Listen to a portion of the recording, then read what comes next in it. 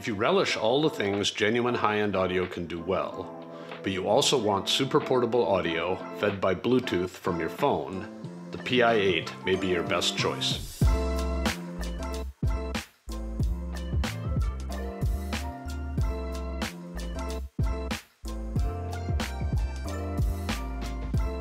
Welcome, ladies and gentlemen, music lovers and audiophiles.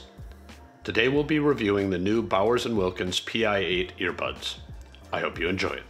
Bowers & Wilkins is a venerable loudspeaker manufacturer with famous designs dating back to the 1970s and 1980s. Several of their flagship speakers have been chosen by famous recording studios including Abbey Road for monitoring and mastering.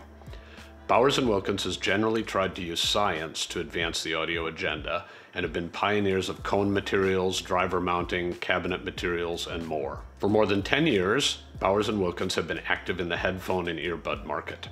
Their latest offerings are the new PI6 and PI8 earbuds. Today's review subject, the PI8, is the top of this new range and is priced at $399 per pair. All right, let's talk about the product itself. The PI8, which you can see here, here's the case and here's the one of the earbuds.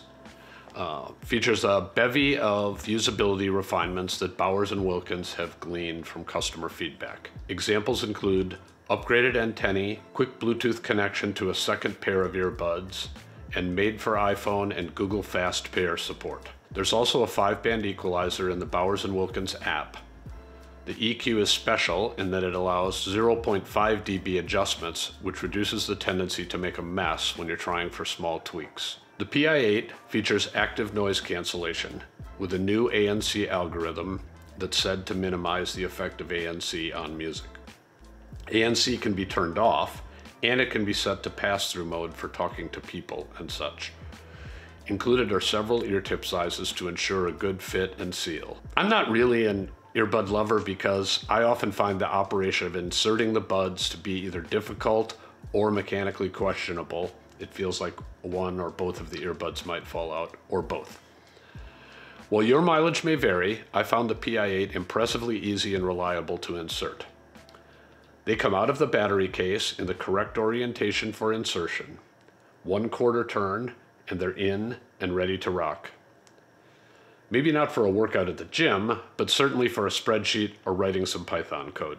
The case, by the way, is about the same size as the Apple earbuds case, and no complaints there. I think it fits in your pocket or I don't use a purse, but a purse very easily. Just a brief interruption, esteemed viewers. I'm Tom Martin, Chief Content Officer of the Absolute Sound. I'd like to invite you to subscribe to the Absolute Sound magazine, which we've been publishing for over 50 years. For $20 per year in print or $10 per year in digital magazine format, you get 11 issues each with around 100 pages of exclusive equipment reviews, music reviews, and buyer's guides. You also get early access to our three awards issues Editor's Choice, Products of the Year, and Golden Ear. To subscribe, enter this URL in your browser or go to theabsolutesound.com and click on the subscribe button. Thanks, and now back to the show. All right, let's talk about the major topic we're here for, which is sound quality. For these reviews, we primarily use the absolute sound, by which we mean the sound of real music in a real space, as the standard for our evaluations. The idea is that if audio equipment faithfully reproduces what the musicians and engineers laid down, then musical satisfaction on average will be high.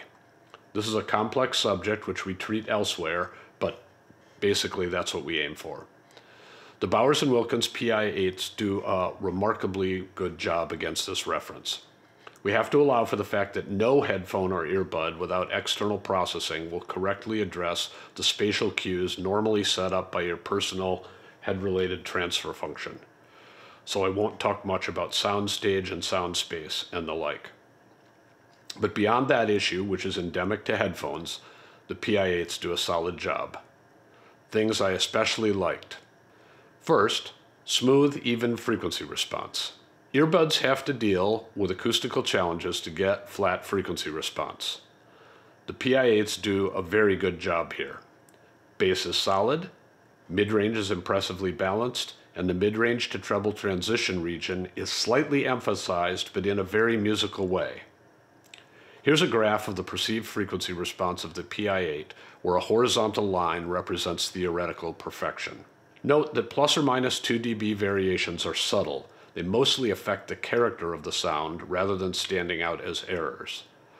Also note that plus or minus 10 dB deviations from flat are common with headphones. The PI-8 frequency curve is about as good as you'll see. You might want some different character, for example, stronger deep bass for EDM or hip hop, or you might want slightly rolled off treble if detail in that region sends you looking for a bus to stand in front of. Next, I like the good bass response. I used reference tracks from Fakir, the Sea Song from the album All Glows, Alison Krauss, Maybe, from the album Forget About It, Dua Lipa, the track These Walls from Radical Optimism, and Gina Birch, I Play My Bass Loud from the album of the same name. I used others too, but I used these to understand the low end. The sound there is punchy, but there is a slow roll off below 50 hertz. That's actually much better than with many headphones. Third thing I liked was vivid dynamic expression. Bluetooth is not your friend when it comes to dynamics, but the PI-8 makes the best of this. As an example, the drums on Walk With Me Lord by the Baylor Project are jump in your seat good.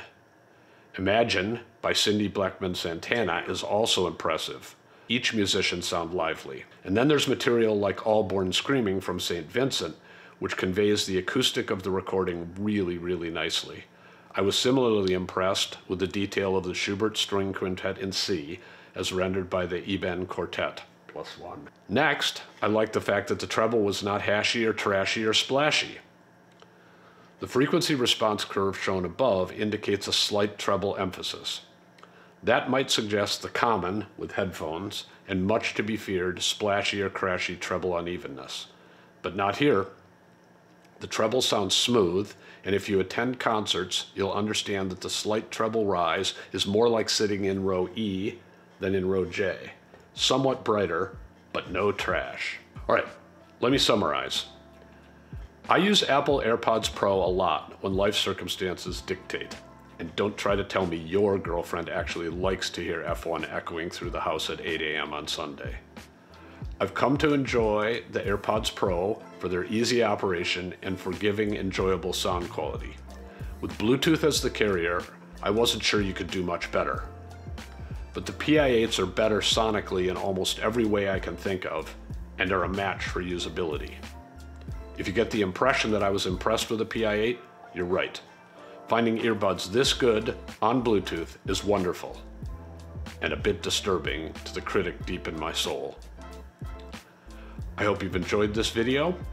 If you have, check in the description for ways to get additional reviews that are published outside of the YouTube channel. And we thank you for watching and hope to see you again soon.